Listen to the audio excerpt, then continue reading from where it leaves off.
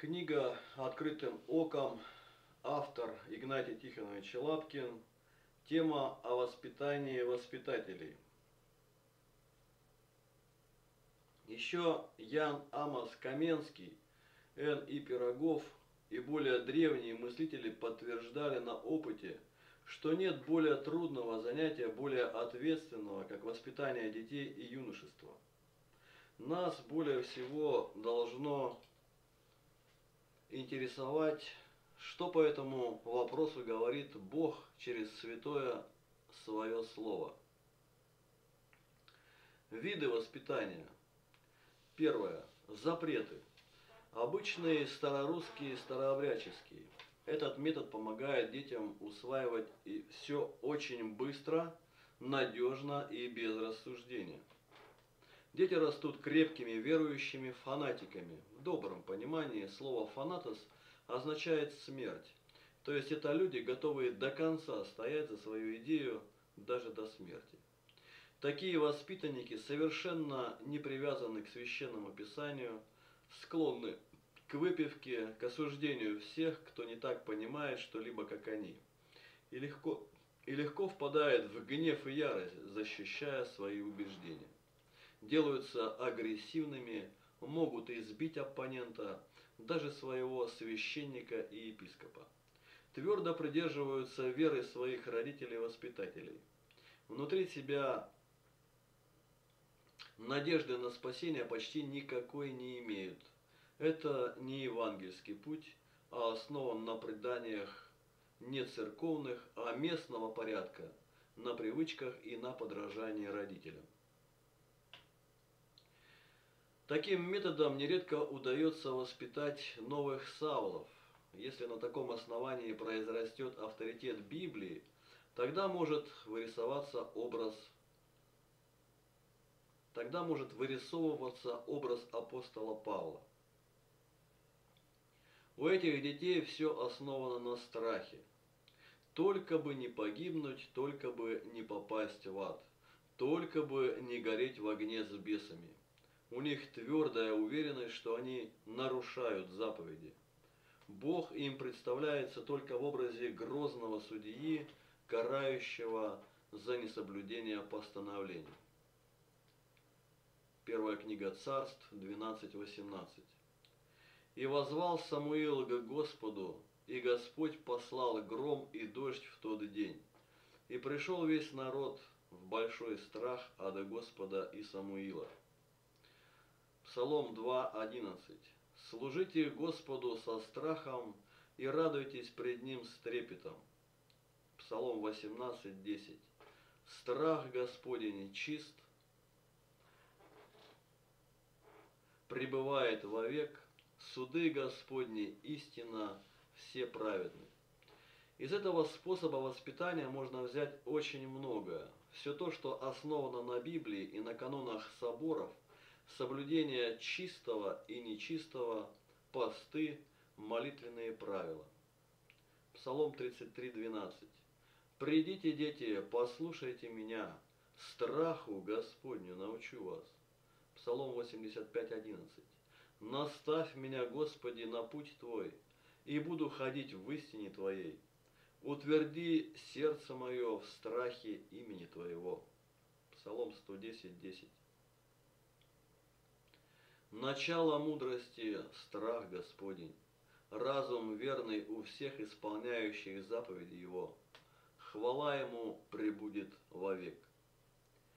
Необходимо употребить все силы и таланты при беседе с этими людьми, чтобы их верность преданию повернуть на верность священному писанию.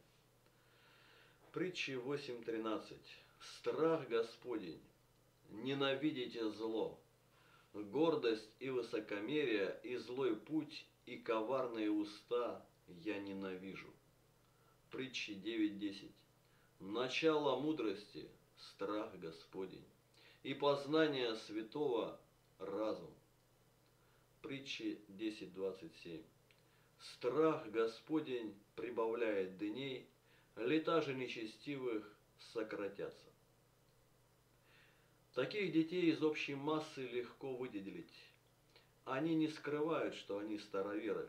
Как правило, здесь нет никакого исследования психики детей, возрастных групп, библейского анализа их поступков. Ребенок более научается подражанию от родителей в семье и на работе и из природы. Второй метод научения с нуля. Это когда дети из неверующей семьи и ничего не знают ни о Боге, ни о Библии. Это самый большой контингент детей в наше время, в нашей стране. Воспитатель всегда на первом месте должен держать в памяти, что перед ним бессмертная душа, искупленная Христом, ценность ребенка. Ребенок отличается от взрослого пониманием всего, что окружает нас. Он не в состоянии выдержать те же требования, длинные богослужения, строгости поста, продолжительность труда и обучения. Дети совершенно иначе воспринимают окружающий мир, чем взрослые. И нужно как можно чаще, хотя бы кратко расспрашивать детей не только на уроках, но и во время прогулки, как они понимают то, что видят в природе, что слышали, что смотрели. У преподавателя-воспитателя в душе все время должно оставаться что-то детское. То есть он как бы остается вместе с детьми ребенком, все время нащупывает ту ступеньку развития, на которой ребенок стоит. И постепенно, через образы и сравнения с тем, что ребенок уже понимает, необходимо поднимать его выше – как правило, запас слов у детей невелик, поэтому новые понятия и слова нужно повторять несколько раз. И после этого переспрашивать, вводя эти слова в контекст. Нужно говорить с ребенком простым языком, но тексты священного писания цитировать полностью, дословно и никогда не упрощать. Сначала прочитать необходимое с абсолютной точностью, невзирая на возраст ребенка и его способности, и только после этого разъяснять простым, доступным языком. Хорошо после прочтения Библии, текста на русском языке синодального перевода 1876 года, никакими другими переводами никогда не пользоваться, чтобы не разжигать, чтобы не разжижать мозги ребенка своими словами разъяснить прочитанное с использованием примеров. При разъяснении можно пользоваться специально изданными учебниками. Детская Библия, Библия для детей старшего возраста и другие. Дети очень похожи на взрослых глухонемых и на оскудевающих в разуме стариков. Для них этот окружающий мир очень конкретен и намного меньше, чем наш мир. Ребенка часто воспринимают как, как досаждающего и мешающего, хотя ребенок и предстает пред нами иногда не как обезьянка, а как учитель. Очень многие взрослые с этим не согласны из-за своей тупости и не могут привлечь к себе ребенка и заинтересовать его. Если вы не поспешите установить его сердце авторитет взрослого человека, и при том верующего – то у него найдутся учителя его возраста. Действительно, дети не могут оценить то, что мы с таким трудом созидали, стирали, чистили, варили, и сколько бы ему об этом ни говорили, он этого не поймет, хотя и сделает вид, что осознал, но тут же об этом забудет. Лекарство очень простое. Ребенка нужно немедленно подключать к своей работе, чтобы он делал посильное до усталости и знал, как это достается нелегко. Наше отношение к ребенку в церкви. Евангелие от Марка 10, 13, 16. Приносили к нему детей, чтобы он прикоснулся к ним. Ученики же не допускали приносящих. Увидев то, Иисус вознегодовал и сказал им, «Пустите детей приходить ко мне, и не препятствуйте им, ибо таковых есть Царствие Божие. Истинно говорю вам, кто не примет Царствие Божие как дитя, тот не войдет в него, и, обняв их, возложил руки на них и благословил их. Загруженность работой, усталость отнимает все время, и на детей его почти не остается. Когда ребенок отдаляется от дома и делается эгоистом, то родители сетуют. Мы его поили, кормили, а он... Да, поили и кормили. А другом стать не удостоились. Не нашли времени, не обучали Слову Божию у себя дома. 2 Тимофею 3.15 при том же ты из детства знаешь священные писания, которые могут умудрить тебя во спасение верою во Христа Иисуса. Тимофея обучали бабушка и мама. Как правило, дети, создающие шум в церкви, просто изгоняются или их оставляют дома. До времени это удобно всем. Но только до времени. Притчи 22.6 наставь юношу при начале пути его, он не уклонится от него, когда и состарится. Ребенка нужно приучить правильно вести себя в церкви, истово совершать крестное знамение и делать правильные, неспешные, полные поклоны. Не оглядываться, не перебирать пальцами, играя чем-либо. Если ребенок ведет себя плохо во время богослужения – это вина родителей и воспитателей, как правило. Ребенка нужно вывести и узнать, почему он так себя ведет. Если ребенок умышленно и упрямо нарушает порядок, то может быть появится даже необходимость наказать его. Но это всегда нужно делать в уединенном месте, при закрытых шторках и дверях, чтобы никто никогда этого не видел. Ребенка нужно подготовить к богослужению, за 10-15 минут свалить в туалет, правильно одеть по церковной форме и снова дать краткое наставление, как вести себя во время богослужения. И чтобы он не просился ни пить, ни в туалет ранее, чем через час. Наказание – это самое трудное и опасное занятие. Этим должны заниматься истинные воспитатели. Этот один талант уметь наказывать ребенка дороже десятка других вместе взятых. Наказание должно быть не превышающим преступления, и назначение его для исцеления и исправления и должно соответствовать проступку. А. Ребенок вертится – можно поставить на часы, то есть играть роль часового у определенного предмета. Лопата, палка, воткнутая в землю. Это все, конечно, делается дома, не во время богослужения. Покажите ему, как нужно стоять, не, подгига, не подгибать колен и не оборачиваться. Сразу сказать ему, на какое время он ставится. Четверть часа, полчаса, ни одним видом наказания не следует злоупотреблять. Лучше не добрать, нежели пересолить. Хорошо, когда за ним кто-либо наблюдает.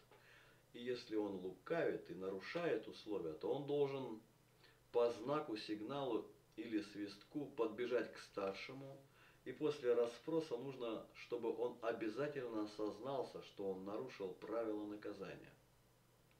Сразу поясните ему, что если будет дан такой-то сигнал, то он должен с места стояния бегом подбежать к вам и после собеседования снова бегом, бегом вернуться на пост. Снова повторите ему, что плохое стояние на часах, как и плохая работа. Плохо сделанный кувшин, рассыпались, все начинает с нуля. Если ребенок стоит серьезно, не нарушает правила, то обязательно сократите время стояния. Амнистия за хорошее поведение, но время сокращения не должно превышать одной трети назначенного времени.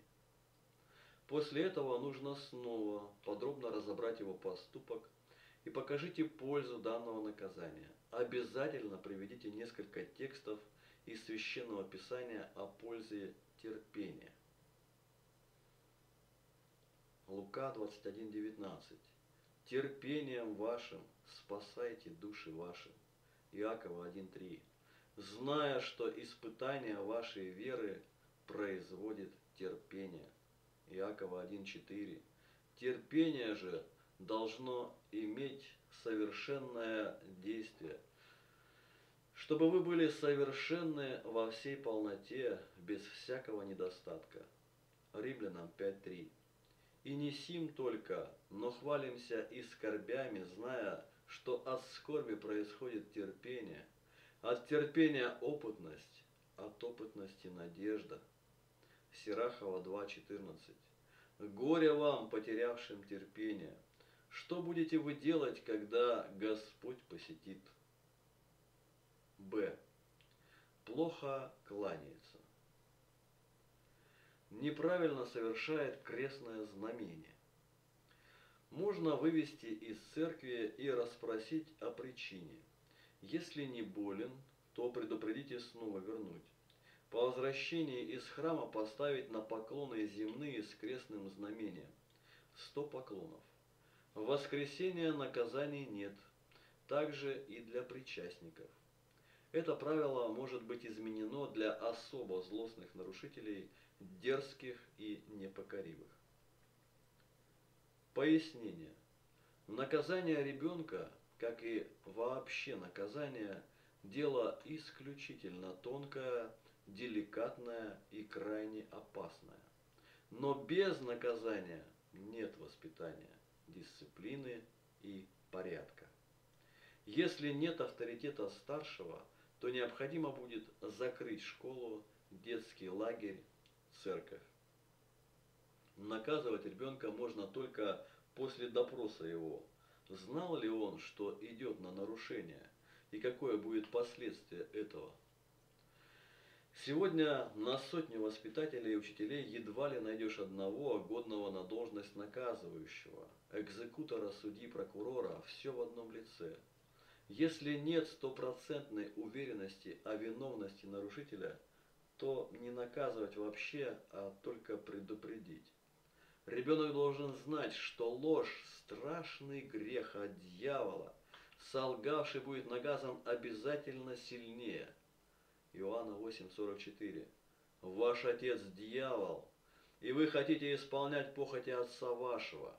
Он был человека-убийца от начала и не устоял в истине, ибо нет в нем истины. Когда говорит он ложь, говорит свое, ибо он лжец и отец лжи. 1 Иоанна 4:20. Кто говорит «я люблю Бога», а брата своего ненавидит, тот лжец, ибо не любящий брата своего, которого видит, как может любить Бога, которого не видит? Откровение 21.8. Боязливых же и неверных, и скверных, и убийц, и любодеев, и чародеев, и идолослужителей, и всех лжецов участь в озере, горящим огнем и серою. Это смерть вторая. Лука 13:27. Но он скажет, говорю вам, не знаю вас, откуда вы. Отойдите от меня все делатели неправды. 1 Иоанна 5:17. Всякая неправда есть грех, но есть грех не к смерти. Пример. За 48 лет в нашем православном детском трудовом лагере Стане не был наказан несправедливо никто, не был унижен или чтобы над ним кто-то посмеялся после наказания. До наказания и после наказания нужно дать подробные разъяснения данному случаю и помолиться. В. Ребенок сквернословит. Предварительно с детьми проводится беседа и подробно с примерами библейскими и житейскими показывается, какое горе ждет сквернословца-матерщинника. Матфея 12.37. Ибо от слов своих оправдаешься, и от слов своих осудишься. Ефесянам 4.29. Никакое гнилое слово да не исходит из уст ваших, а только доброе, для назидания в вере, дабы оно доставляло благодать слушающим. Матфея 12.36. Говорю же вам, что за всякое праздное слово, какое скажут люди, дадут они ответ в день суда. Бранное слово – низость и убожество души. А.П. Чехов Пусть с фронта борьбы поступают сводки, Что вышли победителями из боя злого. Не выпито ни единого стакана водки, Не сказано ни единого бранного слова. Маяковский, БВ. Хотя сам Володя был старший, хотя сам Володя Маяковский был страшный матерщинник, богохульник, блудник и самоубийца. И предупредить ребенка, что если подобное еще случится, то его молодой язык отведает молодой крапивы. Наказания обязательно производятся полностью уединенном месте сеткой, авоськой или крапивой, но никак не рукой. Если ребенок нарушил случайно это правило, а раньше за ним этого не наблюдалось, то можно по договору с ним, что он никому об этом не расскажет, его не наказывать, а только создать видимость наказания, создать хлопок сеткой по столу с предупреждением, что если подобное повторится, то это неисполненное наказание, условный срок, будет приплюсовано к новому нарушению. Ребенок должен знать, а он это обязательно запомнит, сколько горячих стоит такой проступок. Например, за сквернословие три раза провести крапивой по губам. Слыша это, лицемеры начнут возмущаться, пугать конвенция прав, пугать конвенция прав ребенка. Но для нас никаких законов не существует, кроме божественных. Все остальное временное, развращающее, погибельное. Посигновение на личность – унижение. Кто-то кого-то ударил, подмял, причинил боль. Такой должен обязательно быть наказан физически, беспощадно, со всею строгостью. И ребенок должен знать, что его простили, и после наказания за ним ничего не числится. Г. Во время работы следует молчать, но ребенок разговаривает. Заранее он должен быть предупрежден, что придется взять в рот чистую щепку или прутик и держать во рту до перерыва, до отдыха или до обеда. Если же, будучи обустанным, с уделами во рту все равно продолжает болтать, то он должен знать, что это стоит два горячих, но не более – сеткой или крапивой, девочкам по ногам ниже колен, мальчикам по булочке. Д. После отбоя, отхода ко сну, полное молчание. Дети нарушали покой, смеялись или разговаривали, запрещается даже шепотом. Все дети заранее должны быть предупреждены, что они должны знать устав, правила поведения в семье, лагере в пути. Пояснить, что в Англии все студенты, живущие в общежитии, хорошо знают тамошние правила. Дважды нарушивший тишину после отбоя изгоняется из общежития навсегда. Воспитатель, войдя, спрашивает, кто нарушал покой. Спрашивает трижды, предупреждая, что если никто не сознается и виновный не выйдет, то все до единого будут стоять на часах два часа. Дети сейчас очень пакостливые и невероятно трусливые. Как правило, после такого вопроса бывает мертвая тишина и ни звука, все замерли. Нарушитель был бы даже очень рад, если бы его вообще не наказали, а все невиновные стояли бы на свежем воздухе. Вот с этой-то подлостью мы и боремся. Если кто-то не согласен с таким методом борьбы с нарушителями, то пусть он напишет нам, что он делает в данном случае и какая от этого бывает польза. И не, теори... и не теоретизировать, а показать на практике. Такой теоретик не может управиться даже с двумя собственными детьми. После этого отдается приказ выходить всем, и чтобы все хорошо оделись и защитились от прохлады и комаров. Нарушителей ставить отдельно друг от друга лицом на восток, чтобы они могли молиться, не видя друг друга. Ни к чему не прислоняться. Обычно через час они смиренно просят «хочу спать». Иногда хватает и полчаса. Снова проводится с ними собеседование о том, какой вред они приносят себе и другим, когда мешают спать. Разъяснить, что на завтра после отбоя они должны будут достоять недостающее до двух часов время. И чтобы они сами завтра об этом напомнили старшему руководителю. Каждый вечер желательно советоваться с детьми о том, во сколько они хотят отойти ко сну, но не позже 10 часов. Подъем всегда в летнее время в 5 утра, а при уменьшении светового дня постепенно отодвигать до 6-6.30. Объявляется, что можно переголосовать через 2 минуты, а они, желающие лечь раньше, попытались бы убедить в этом и других. Если это им не удастся, тогда берется среднее 9.30. Если они просили отойти ко, если они просили отойти ко сну в 9. Е. Ребенок не хочет трудиться. Категорически запрещается уговаривать его. Дети должны приучиться бояться остаться без работы, чтобы они сами настойчиво выпрашивали работу воспитателя. Он должен знать, что если он не будет трудиться, он не будет есть, играть, купаться.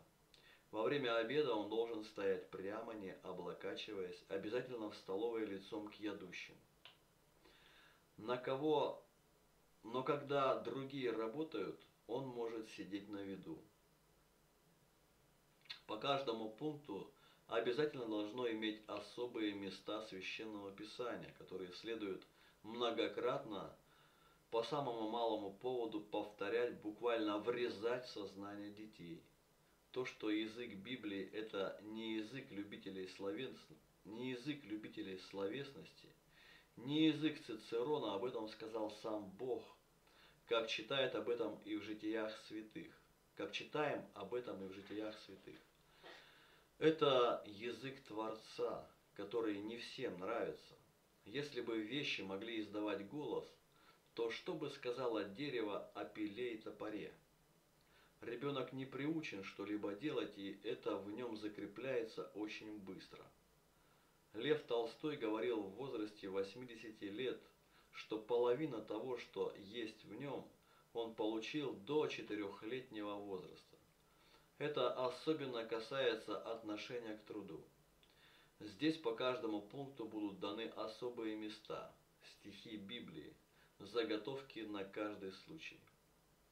Конкретно по трудолюбию. Серахова 22.2. Воловьему помету подобен ленивый, всякий поднявший его отряхнет руку. Любой, даже совершенно неразвитый ребенок поймет, о чем здесь сказано. Таких коровьих лепешек, как и лентяев, очень много. Приходится остановиться, как на экскурсии перед таким караваем, и объяснить участь ленивого и отношение к нему окружающих. Что значит взять и отряхнуть руку? Дети любят реальность, то, что можно пощупать. Вот это и означает учить во время и не во время. Такие примеры врезаются в разум ребенка на всю жизнь. Здесь мы даем несколько таких золотых стихов, чтобы, дабы было из чего вам выбрать, что для вас более подходящее. Только никогда не витийствуйте, не разглагольствуйте – если вам приходится быть там, где есть посторонние, и вы увидите пьяного человека, что не редкость на Руси, то не прибегая ни к какому осуждению этого человека, объясните детям о том несчастье, какое ждет каждого из них, если они не будут трудиться. Он тоже совсем недавно был маленьким ребенком. как он вел себя в школе. И вот здесь приходится говорить уже не, без, не обезличенно, а на конкретных примерах, о детях с называнием их имен. Вот ты не выучил урок, прокрутился и зря прожил день. Ты мешал учителям, отвлекал детей и этим был нежелателен для всех. То есть, если бы тебя не было, то никто бы не только не пожалел об этом, но даже были бы рады. Баба с возу коню легче. Это означает, что никто не испытывает благословения на тебя. Простите, никто не, не спрашивает благословения на тебя. Ты стоишь уже на кривой дорожке и идешь над пропастью. Абсолютно всегда во всем нужно видеть возможность дать понятие о вечности, о небе, о смысле жизни. Полезно сделать разбор всего, что окружает нас. Пищи, одежды, строений – это большая школа, это целые академии, притом доступные детскому сознанию. Не все сразу, но постепенно нужно рассказать обо всем. Сначала взять самое необходимое, без чего невозможно прожить и дня. Хлеб, как он добывается. Ты, воспитатель, хорошо это знаешь. Начни с молитвы «Отче наш» и и выдели слова «Хлеб наш насущный подавай нам на каждый день». Подчеркни качество хлеба, что он никогда не приедается, что изготавливают из пшеницы. Покажи на этом примере великую милость Божью к человеку. Как трудно достается хлеб труженику сельского хозяйства. Без многого мы можем прожить, но только не без хлеба. Этот продукт разрешается употреблять и во время поста. Его легко перевозить в виде сухарей. Он всегда готов для нас из одной лишь муки в великом разнообразии. И даже в пустыне Бог давал удивительную пищу по вкусу лепешки. Иоанн Златоуст говорит, что мы не знаем, питаются ли чем ангелы, но если они питаются, то пища их является хлеб. Псалом 77, 25. Хлеб ангельский ел человек, послал он им пищу до сытости. Если человек делается бедным и переходит через черту бедности, он остается бедным не ниже куска хлеба. Притче 6.26. Потому что из-за жены блудной обнищевают до куска хлеба, а замужняя жена уловляет дорогую душу. И снова подчеркнуть, что если не будем трудиться, не приучим все десять пальчиков к труду, чтобы они постоянно шевелились, то можем дойти до того, что не будет и куска хлеба. Притча 6, 10, 11. Немного поспишь, немного подремлешь, немного сложив руки полежишь, и придет, как прохожий, бедность твоя, и нужда твоя, как разбойник. Если же будешь не ленив, то как источник придет жатва твоя, скудость же далеко убежит от тебя. Притчи 24, 33, 34. Немного поспишь, немного подремлешь, немного сложив руки полежишь, и придет, как прохожий, бедность твоя, и нужда твоя, как человек вооруженный. И снова подчеркнуть, что если ребенок не будет учиться, приучаться к труду, то он все равно будет что-то потреблять, есть, ничего не создавая, то есть быть паразитом, и придется в конце концов пищу себе искать на помойках. Если тебя сейчас послать к мусорному ящику искать себе пропитание, то ты посчитаешь это для себя за унижение – но любой бомж считает для себя за счастье найти что-нибудь рано утром в этом ящике, и они дерутся за обладанием определенным мусорным баком. Эти наглядные уроки иногда уже слишком запаздывают. Есть дети, которые ничем не могут выделиться, и они приучаются кривляться, хахмить, пытаются кого-то рассмешить. Это тоже не следует оставлять без внимания и снова возвратиться к хлебу. Нужен трактор, комбайн. Кто их должен делать? Для изготовления нужен металл. Кто его должен добывать? И так можете кратко представить весь процесс, попутно подчеркивая, как мудро Бог все устроил, заложив в землю кладовые из угля и руды. Следует рассказать о чуде Божием, произрастании зерна. Повторяю, Воспитатель должен знать очень и очень много и сам учиться всю жизнь. Воспитатель есть учитель, а учитель, как капитан корабля, всегда должен знать все. Он сам должен трудиться непрестанно и всегда вставать раньше детей, чтобы они его никогда не видели спящим, и тем более утром в туалете. Авторитет воспитателя должен быть непререкаемым буквально с первых минут знакомства с детьми. Никогда не добивайтесь дешевого авторитета и никогда не перегибайте палку, не суемудрствуйте и напрасно не витийствуйте. Основная движущая сила работы с детьми – это молитва, любовь, труд.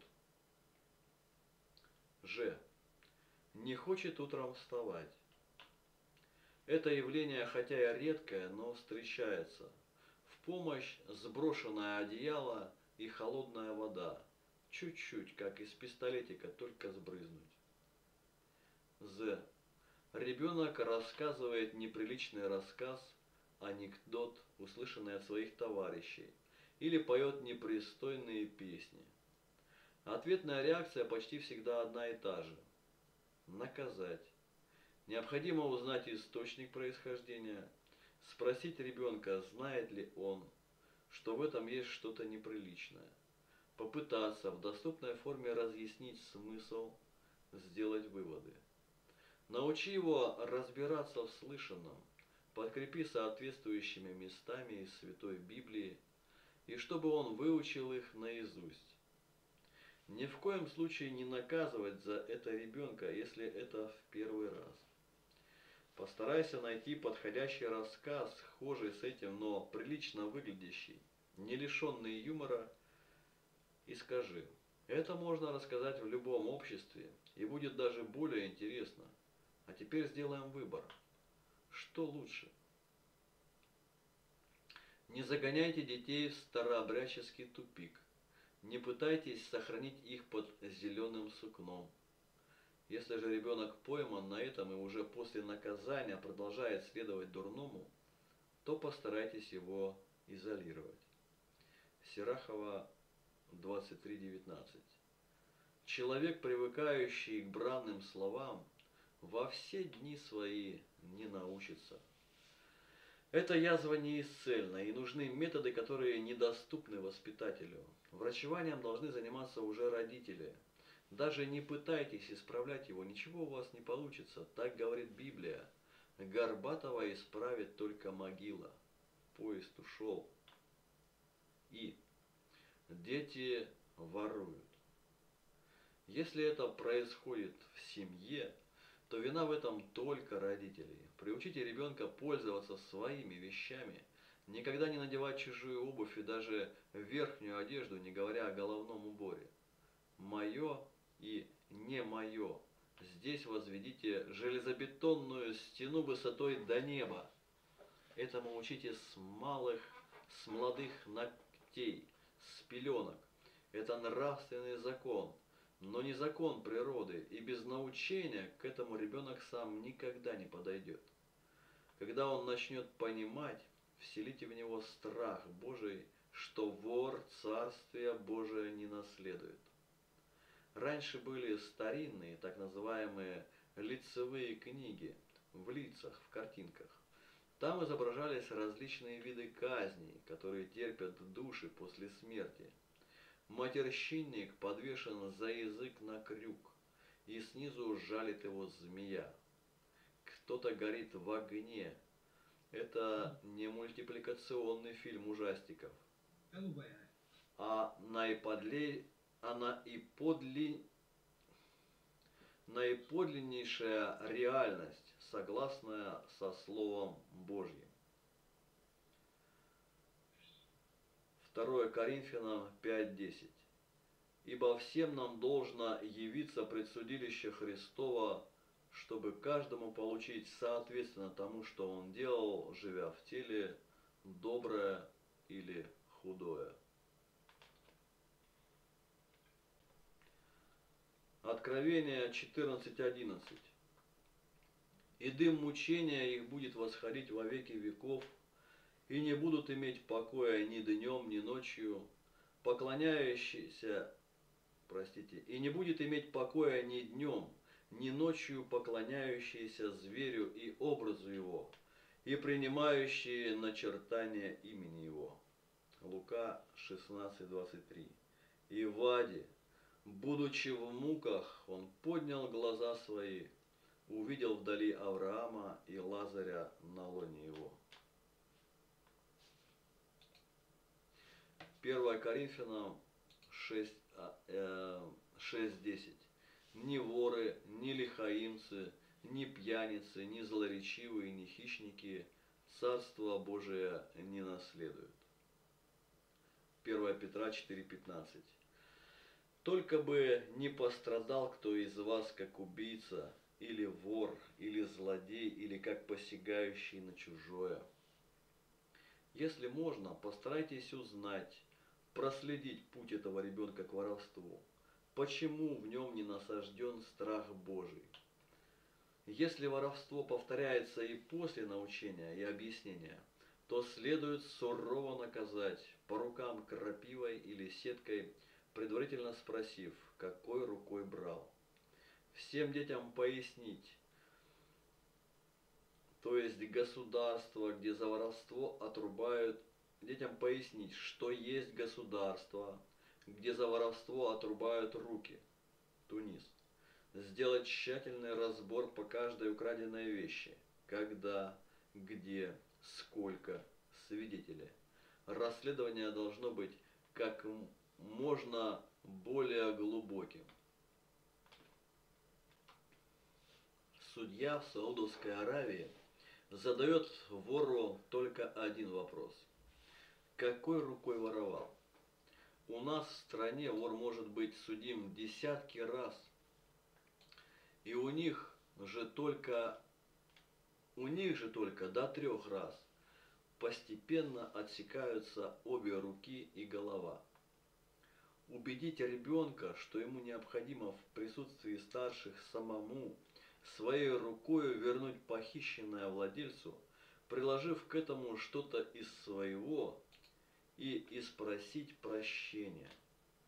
Исход 22.1. Если кто украдет вала или овцу и заколет или продаст, то пять валов заплатит за вала и четыре овцы за овцу. Постарайтесь ввести в устав правила, чтобы вообще предупредить возможность кражи. Ни у воспитателя, ни у детей не должно быть денег в общем помещении. Без разрешения старшего и по одному дети никогда не должны заходить в место, где они спят. Если произошло воровство, то об этом сделать соответствующую запись в особой тетради с описанием всего и рисунком похищенного. Здесь должно быть написанное собственноручно ребенком обещание – никогда и нигде ничего чужого не брать, будь то деньги или вещи. Категорически запретить детям обмениваться вещами, одеждой или что-то покупать друг у друга. Приучите детей никогда не подбирать деньги, которые лежат на дороге. Обойди, перескочи, но не бери.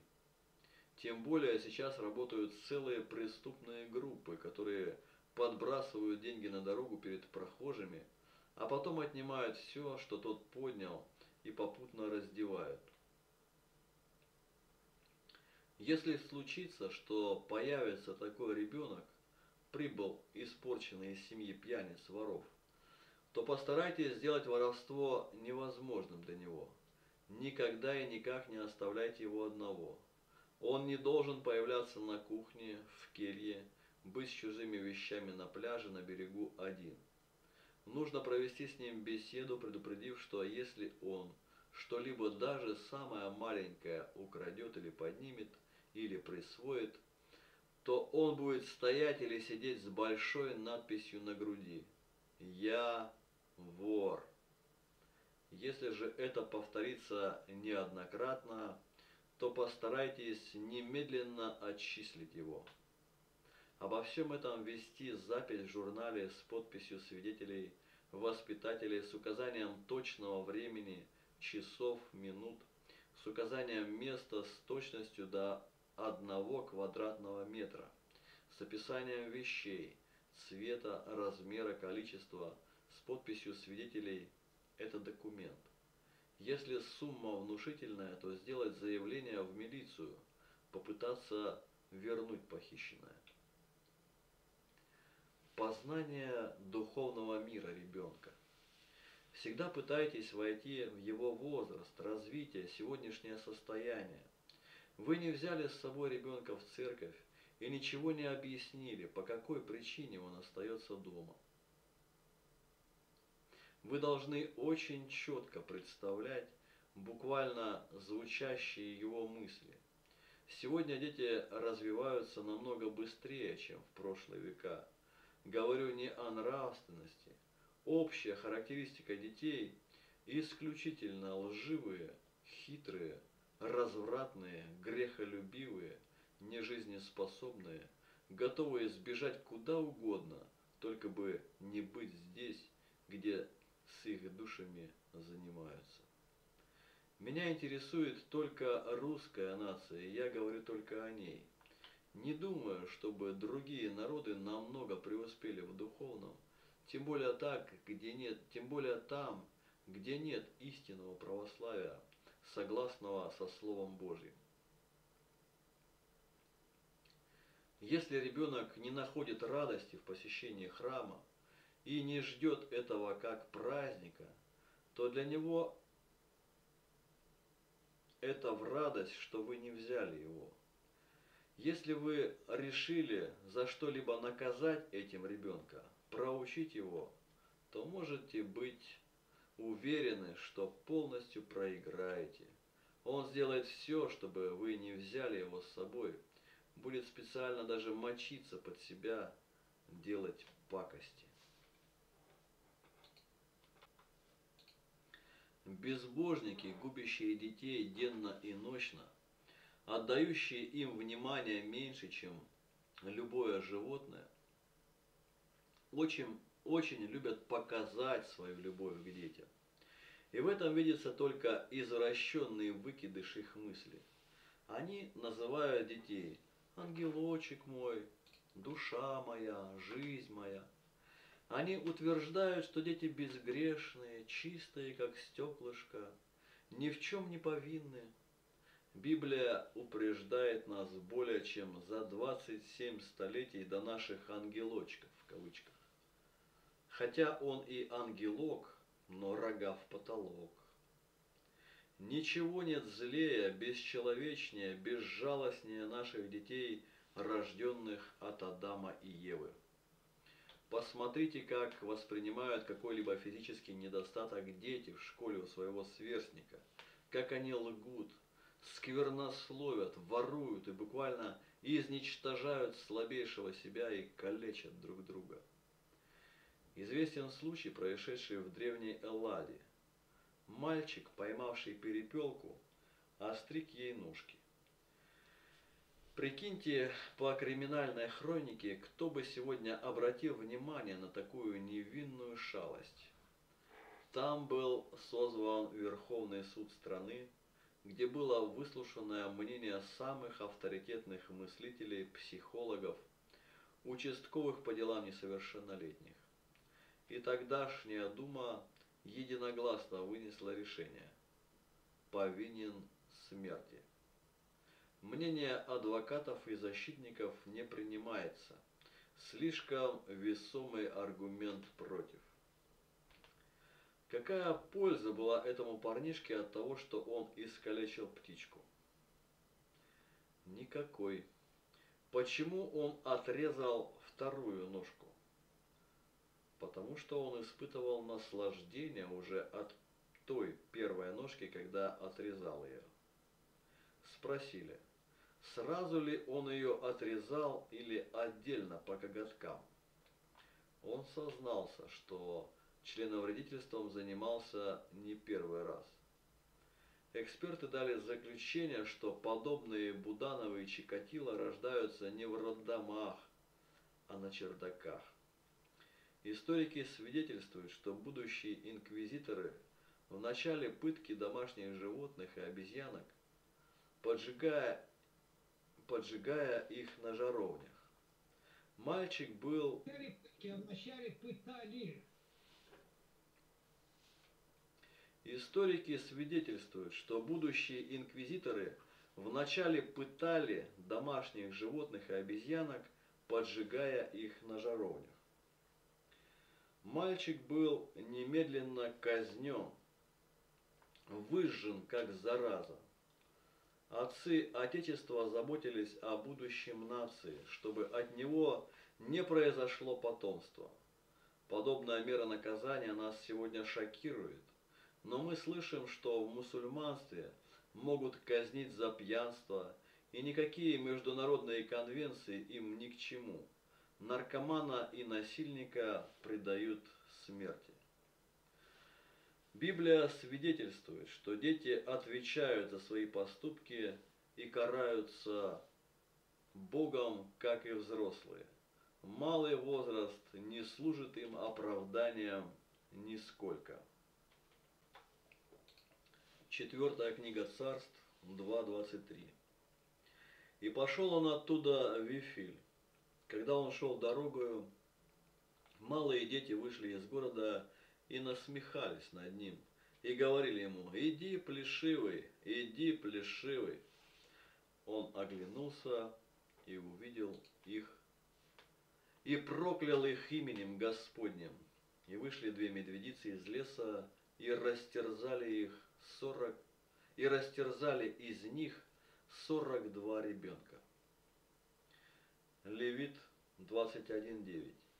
Если дочь священника осквернит себя блудодеянием, то она бесчестит отца своего, огнем должно сжечь ее. Второзаконие 22.20. Если же сказанное будет истина, и не найдется девства у отраковицы, то утраковицу пусть приведут к дверям дома отца ее, и жители города ее побьют камнями, и жители города ее побьют ее камнями до смерти. Ибо она сделала срамное дело среди Израиля, блудодействовав в доме отца своего. Итак, истреби зло из среды себя. Если ребенка не берут по уважительным причинам в церковь, не домогает, за провинность, в церкви мало места, погода неподходящая, создает в церкви шум, это все нужно ребенку объяснить доступно его возрасту. Не смотрите на своих детей свысока, если нам известно, что он уже имеет представление о вечности, но мыслит обо всем по-детски – Посторонние люди, встречаясь с новыми детьми и беседуя с ними их детским языком, нередко открывают в детях такое, о чем родители даже не подозревают. К, это, к этому методу обмена в кавычках партнерами можно прибегать при посещении друзей, когда хорошо знаете друг друга. Матфея 18.10. Смотрите, не презирайте ни одного из малых сих, ибо говорю вам, что ангелы их на небесах всегда видят лице Отца Моего Небесного. Если ваши дети не посещают воскресную школу, и вы с ними дома не занимаетесь по Святой Библии, то помните, что в те же самые минуты в душах ваших детей идет иной засев. Не ленитесь побыть с ребенком час-другой. Родители и воспитатели, не получившие сами никакого религиозного воспитания, не могут понять, какой урон наносят они себе и ребенку, что они лишают его встречи со Христом, которая поможет ему уцелеть в этой греховной жизни. Ребенок драгоценен для Бога, потому что он искуплен кровью Христовой. Книга Откровения 20.12. «И увидел я мертвых, малых и великих, стоящих пред Богом, и книги раскрыты были, и иная книга раскрыта, которая есть книга жизни. И судимы были мертвые по написанному в книгах сообразно с делами своими. 1 Петра 1.18 Зная, что нетленным серебром или золотом искуплены вы от суетной жизни, преданной вам от отцов. Откровение 5.9 И поют новую песнь, говоря, «Достоин ты взять книгу и снять с нее печати, ибо ты был заклан, и кровью своей искупил нас Богу из всякого колена и языка, и народа, и племени. Матфея 18, 12, 14.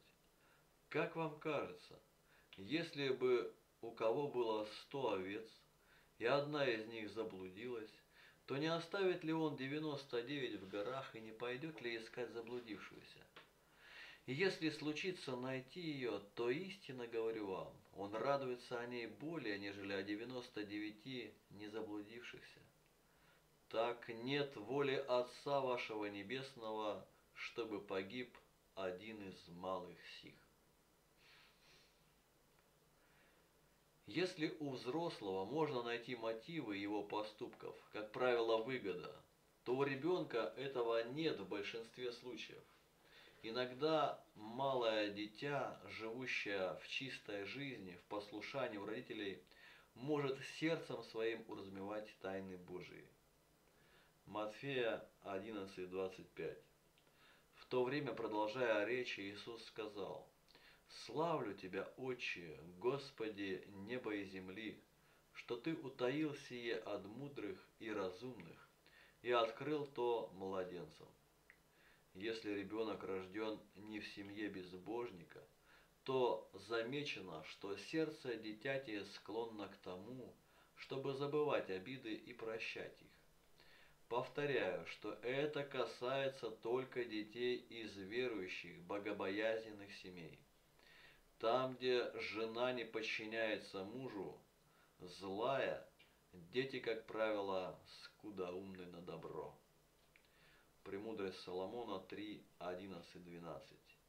Ибо презирающий мудрости наставления несчастен, и надежда их суетна, и труды бесплодны, и дела их непотребны, жены их несмысленны, и дети их злы, проклят род их.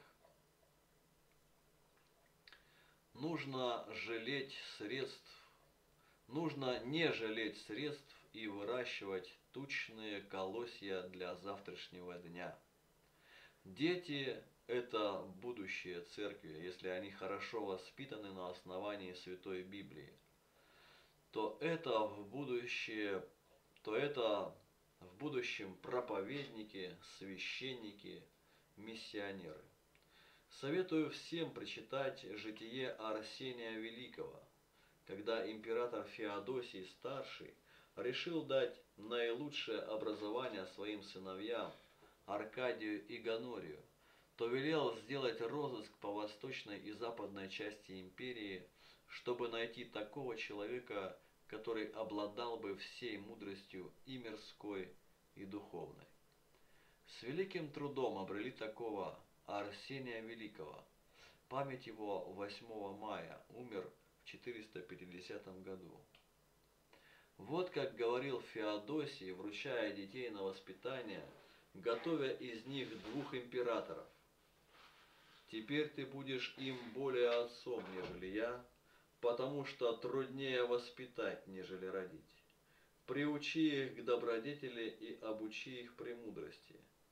Как отец их духовный, позаботь, позаботься о том, чтобы они избегали разных юношеских соблазнов. Жития Замай, страница 246-248. Однажды, войдя в класс, император увидел, что сыновья его сидят, а учитель стоит. Он опечалился и запретил так учить, считая их царями. Он сказал Арсению, что если они не научатся бояться Бога, то лучше, чтобы они не только не были царями, но прежде умерли, чем позволить им вырасти во зле, на погибель как своей собственной душе, так и прочих душ человеческих. Случилось однажды, что Арсений как-то заметил за Аркадием некоторый проступок. Рассердившись на него, Арсений побил его розгою, и притом так сильно, что Аркадий помнил это наказание до самой смерти своей, ибо следы розок остались на теле его. Глупость, привязанная к сердцу юноши, простите, глупость привязалась к сердцу юноши, но исправительная розга удалит ее от него. Притчи 22.15. Быть может, среди тех детей, которые находятся сейчас рядом с вами, будет тот, кто на руках молитвы понесет всех нас, как Моисей на своих раменах израильский народ. Божественное воспитание детей – это закладка фундамента завтрашнего дня, будущего земной части церкви. Притча 22.6 Наставь юношу при начале пути его. Он не уклонится от него, когда и состарится. Только вообразите, что от нашего отношения к детям, будут ли они истинными христианами, и притом православными, не католиками, не сектантами, зависит то, какой будет завтра не только наша община, но и страна и церковь. Цель нашего обучения. Если родители хотят, чтобы ребенок жил нравственно, культурно, по-человечески, порядочно, не на звериных началах, а на гуманных, но не приучают его к боговедению, не познакомят его со Святой Библией и со Христом, то такие родители преступники – в этом жестоком зверином мире ребенку не выжить при таком воспитании. Преступники, уголовники, фашисты, коммунисты, сатанисты, которым общее число легион, все будут рвать ваше дитя, насиловать и убивать, а он не сможет постоять за себя. Попал в волчью стаю по волчьей вой, слабейший должен умереть таков закон природы. И не надо этого скрывать от детей. Тогда ребенка нужно учить быть хитрым, изворотливым и жестоким, и чтобы он обязательно вступил в какую-нибудь сильную партию, потому что даже льву одному не выжить в пустыне. Спаситель наш Господь называет себя пастырем, спасителем, защитником. И Он обещает помочь, и что не оставит нас одних. Простите, э, Спаситель наш Господь называет себя пастырем, спасителем, защитником. И Он обещает помочь, и что не оставит, и Он обещает помощь, и что не оставит нас одних, только бы мы не оставили его. Целью нашего христианского воспитания должно стать не обучение хорошим манерам и приличному поведению, но помочь стать вместилищем Духа Святого, быть другом Христа. Наиважнейшее в воспитании то, чтобы ребенка чтобы ребенок уверовал во Христа, сознательно полюбил его как своего Спасителя и Искупителя, который ждет его в конце краткой земной жизни, чтобы ребенок уверовал в Святую Библию, как в истинное Слово Божие. Римлянам 3, 10, 12, 23 и 5 глава 18 стих. Как написано, нет праведного ни одного, нет разумевающего, никто не ищет Бога. Все совратились с пути, до одного негодны, нет делающего добро, нет ни одного, потому что все согрешили и лишены славы Божией.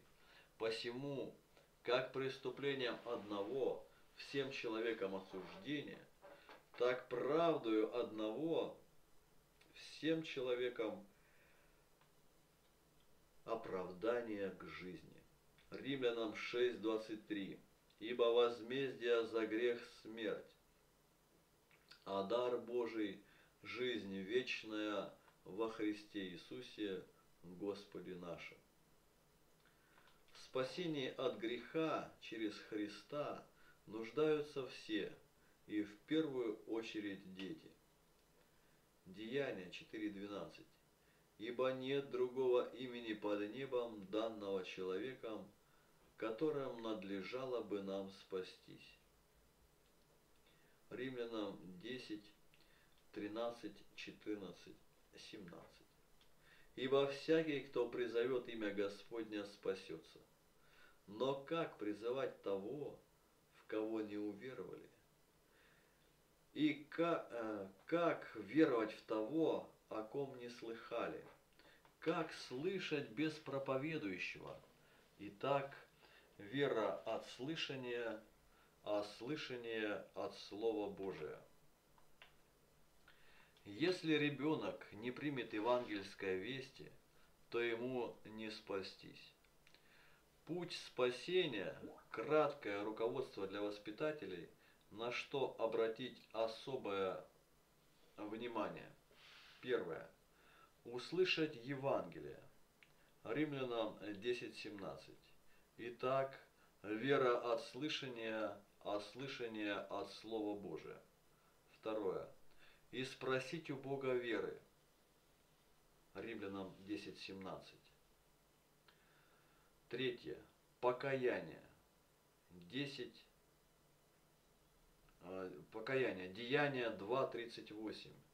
Петр же сказал им, покайтесь и докрестится каждый из вас во имя Иисуса Христа для прощения грехов – и получите дар Святого Духа.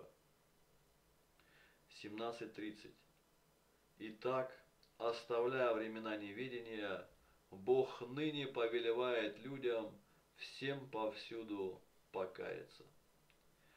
Цель закона десятисловия – показать нам наш грех.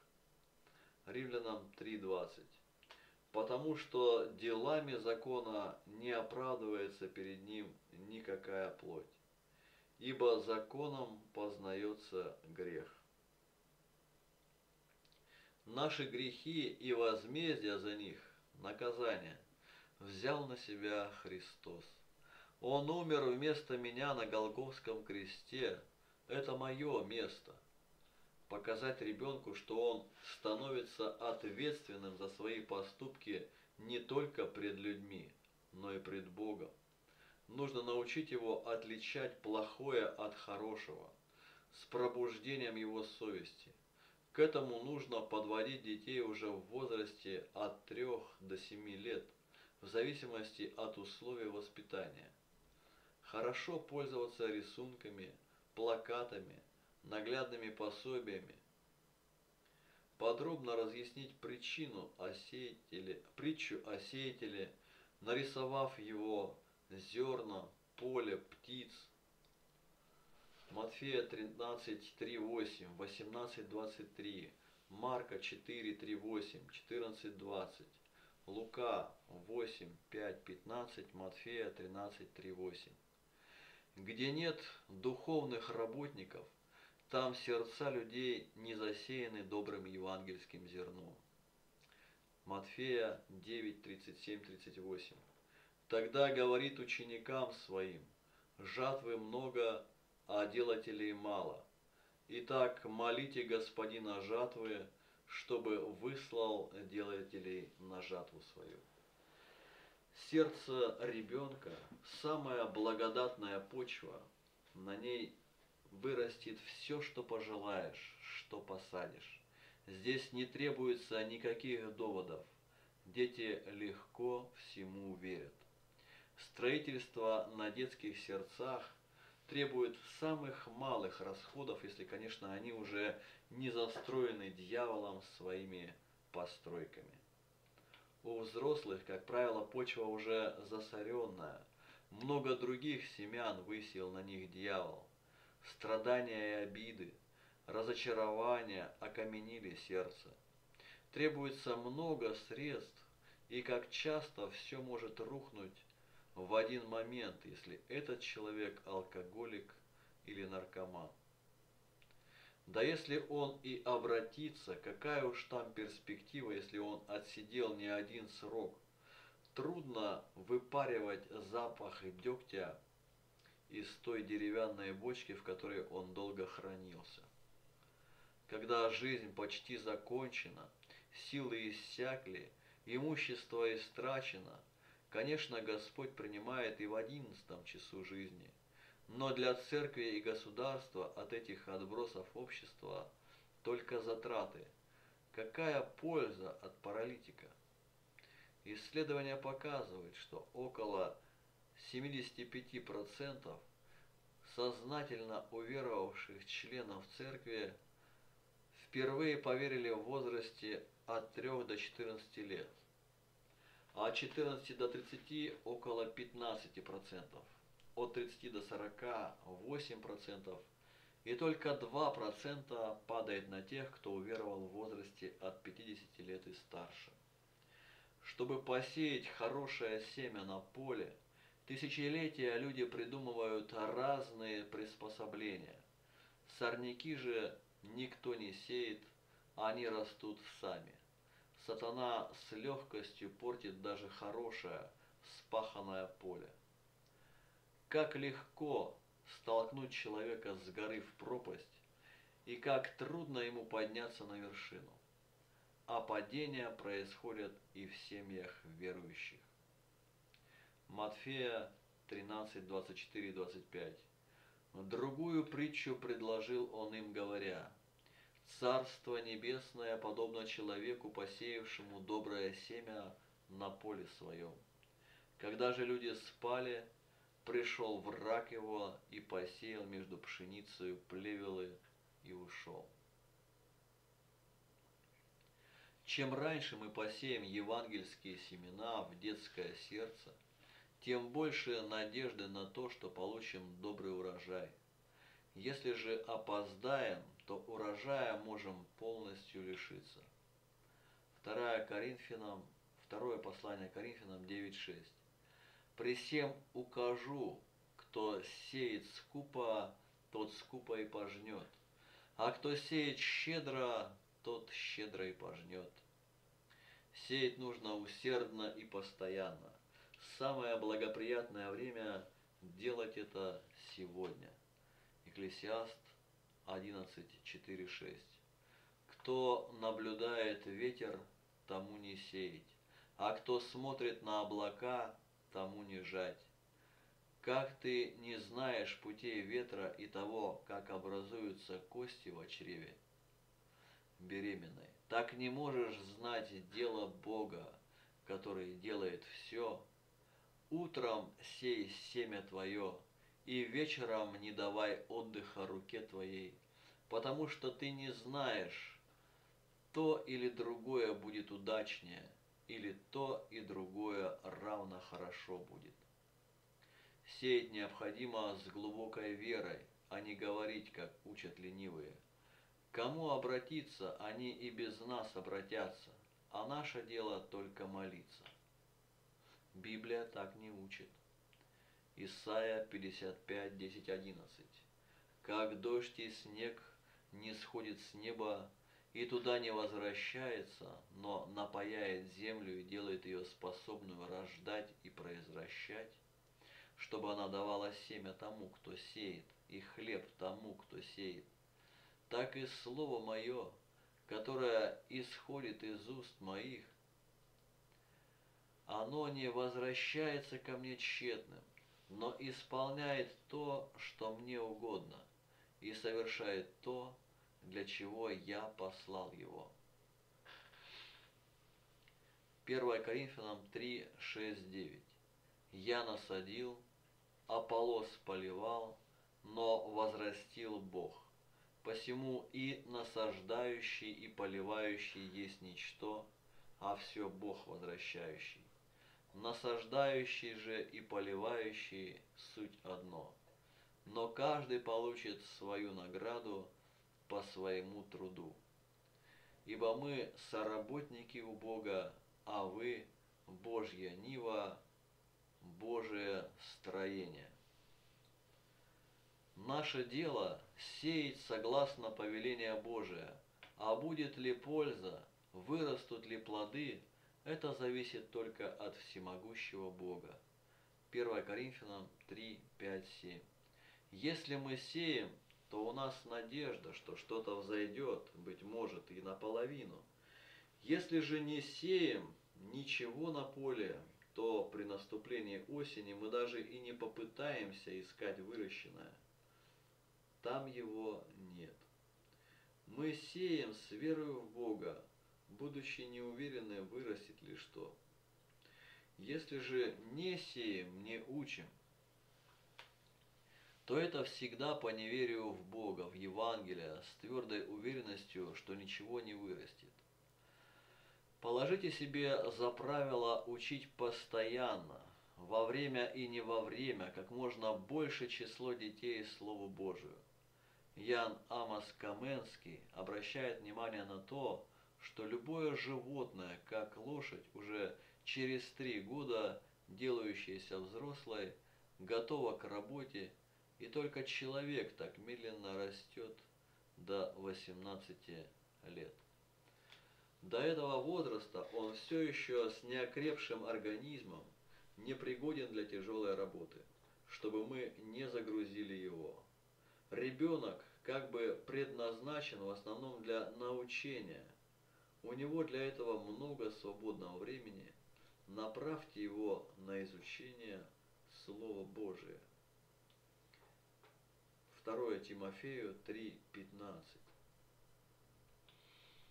Развивайте у ребенка память.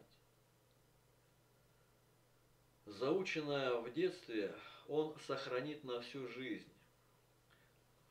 Возрожденные дети – это элита, будущая церкви.